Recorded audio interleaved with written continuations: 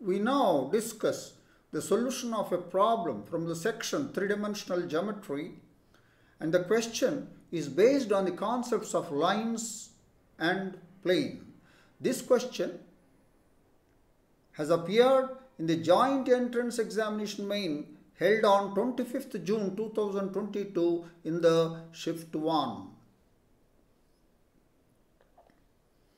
The given question is let the lines L1 whose vector the whose vector equation is given by R vector R is equal to lambda times i plus 2j plus 3k where lambda belongs to the set of real numbers L2 R is equal to i plus 3j plus k plus mu times i plus j plus 5k where mu belongs to the set of real numbers. These two lines L1 and L2 intersect at the point S. If a plane ax plus by minus z plus d is equal to 0 passes through S and parallel to both the lines L1 and L2, then the value of a plus b plus d is equal to. We are given two lines L1 and L2 and it is given that they intersect at the point S and if a plane ax plus by plus by minus z plus d passes through S and parallel to both the lines L1 and L2 then required to find the value of a plus b plus d. We now discuss the solution of the problem in detail. We are given two lines L1 and L2. Now, what are these equations? And we recall the equation of a line passing through a point capital A whose position vector is A and parallel to the vector B is given by R is equal to A plus lambda B. So, thus L1 is a line passing through the origin and parallel to the vector i plus 2j plus 3k and vector the line L2 is passing through 1 3 1 and parallel to i plus j plus 5k and it is given they intersect at the point S.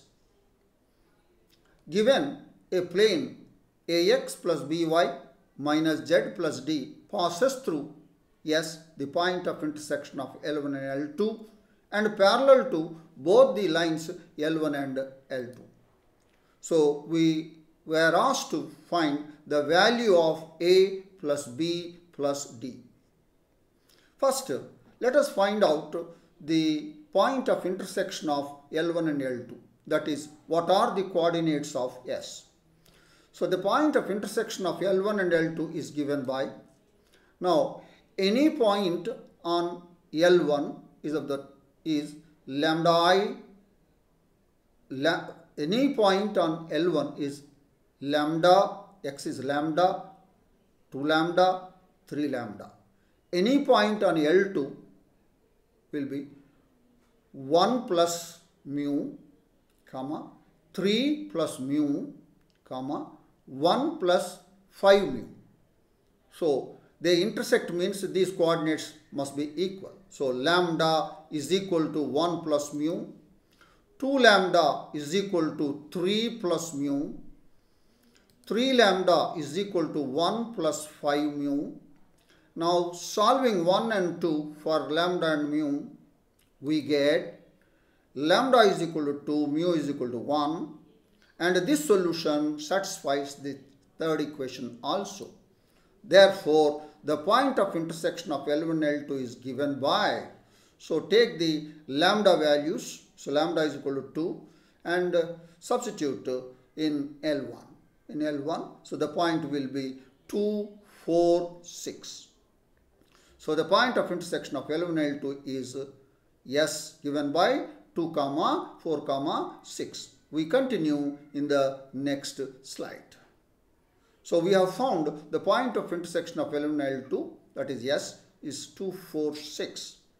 And uh, now we want to find the equation of the plane passing through S parallel to both L1 and L2. That is, the equation of the plane through S whose coordinates position vector is 2, 4, 6 and parallel to I plus 2j plus 3k, I plus j plus 5k. So that is, we recall the equation of the plane passing through a point A whose position vector is A, that is A1, A2, A3, parallel to vectors B and C is given by the determinant x minus A1, y minus A2, z minus A3, that is the first row. The second row is B1, B2, B3. B1, B2, B3 means the vector B. C1, C2, C3 means the vector C. So A1, A2, A3 means the vector A, the position vector A. So in our context, A1, A2, A3 is 2, 4, 6. B1, B2, B3 is 1, 2, 3. C1, C2, C3 is 1, 1, 5. Therefore, the equation of the plane passing through S, whose coordinates are 2, 4, 6 and parallel to I plus 2j plus 3k and I plus j plus 5k is given by this determinant. So the determinant whose first row is x minus 2, y minus 4, z minus 6. Second row is 1, 2, 3 that is b and the third row is 1, 1, 5 that is i plus j plus 5k. Expanding by the first row we get this. Simplify. So we get 7x minus 14 minus 2y plus 8 minus z plus 6 is equal to 0. That will give rise to 7x minus 2y minus z is equal to 0. But we are given the ax plus by minus z plus d passes through S and parallel to both the lines L1 and L2.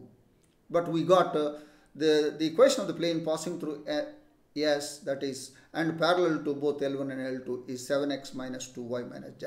So comparing this equation with that equation ax plus by minus z plus d is equal to 0, we get a is equal to 7, b is equal to minus 2 and d is 0.